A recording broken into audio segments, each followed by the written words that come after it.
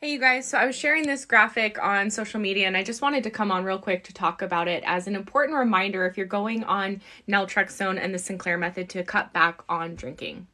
So when you go on naltrexone, over time what it's going to do is really help you get your control back over alcohol because it starts to quiet the craving and the thoughts and the desire for alcohol. So a lot of people find that they're just craving alcohol less, they're thinking about it less, and they're seeing themselves um, have less of a desire for it and in general more control when they drink. But the challenge comes in when we have to meet the medication halfway and change our thoughts and our identity and our habits around drinking as well. Because for many of us, oftentimes alcohol has been so intertwined with so many different things in our life that even when naltrexone is working to quiet the desire for alcohol, our habits, our beliefs, our identity can override the medication.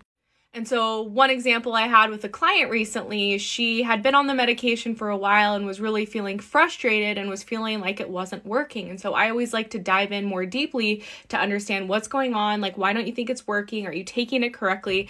And she'd been following the protocol correctly, but she said one key thing that really struck out to stuck out to me. She said, "Life would be boring if I didn't drink. Like, I love to go home and drink my bottle of wine every single night."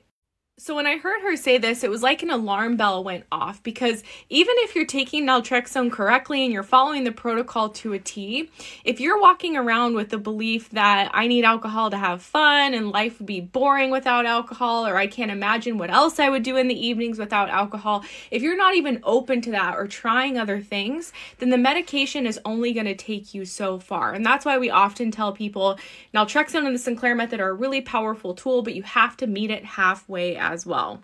Another common challenge I see for people is when they're using alcohol as a coping tool just to kind of escape from the stress and pressure of life. You know, honestly, alcohol is a really effective, immediate coping tool momentarily. Um, it kind of gets the job done, but we know that we have to pay for it later, and ultimately, it's not really helping us get through the challenges with life. And so, through this treatment, of course, we have to learn new coping tools.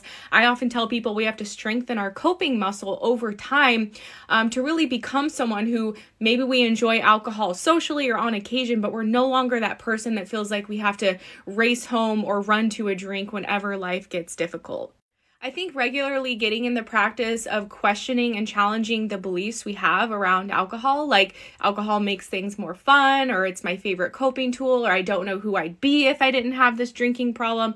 All of these beliefs are so sneaky and can keep us stuck and prevent us from making progress on the treatment. We actually just did a workshop not long ago in our program talking about this very topic because, as a coach the last five years and also through my own personal experience with the method, I have just seen how we can have these beliefs and even hold them unconsciously. We're not even aware of them. But when we have these beliefs that are operating under the surface that are really driving our drinking patterns, we can end up fighting the medication and really struggling and not seeing the progress that we are after. Something else I wanted to mention as well is that, of course, when we go on naltrexone and the Sinclair method, it doesn't require abstinence from alcohol. A lot of people go on this treatment to be able to reduce their drinking and drink moderately.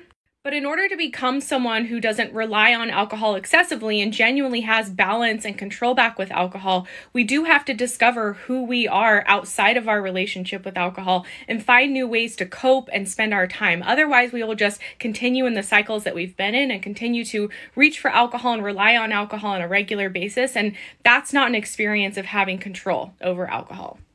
So, just wanted to share that with you guys today. I hope that you found it helpful.